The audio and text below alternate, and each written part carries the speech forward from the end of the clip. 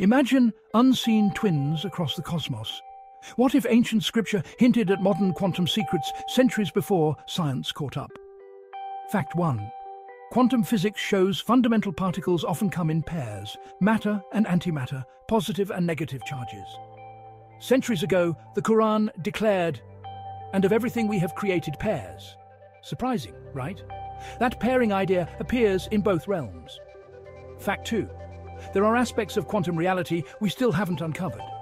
Particles, forces, behaviors unknown to us.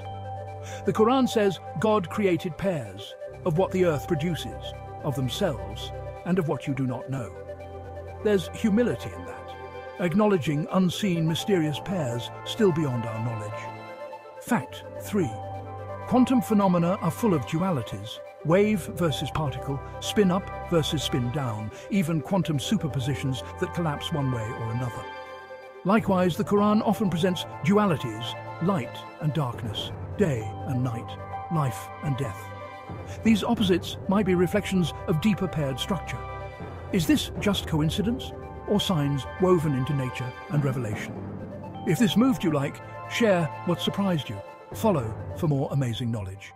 See you next time.